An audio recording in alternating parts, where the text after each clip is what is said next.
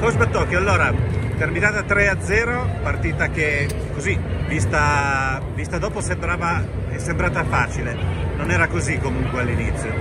No, no, non era per niente facile, noi abbiamo giocato una grandissima partita secondo me, abbiamo giocato una delle migliori partite di quest'anno.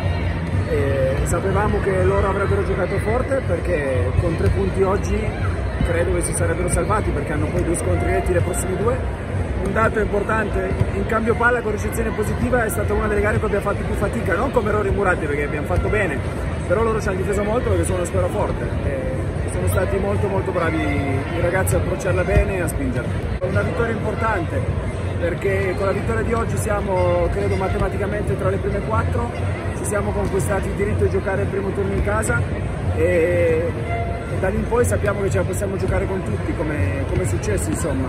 Eh, credo sia una bella soddisfazione per i ragazzi, credo che sia una bella soddisfazione per la società, per tutto lo staff e anche per, per il pubblico. Credo che siamo una comunità bella, solida, come si è visto anche oggi. E, e questo è una cosa che ci aiuta molto in campo, perché in campo siamo, ci sentiamo in campo tutti quanti e, e questo secondo me fa, giocare il primo turno in casa così aiuta, aiuterà molto.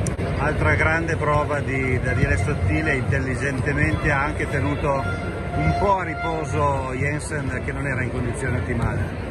Ma no, a me si sta bene, ha avuto un periodo difficile ma sta bene.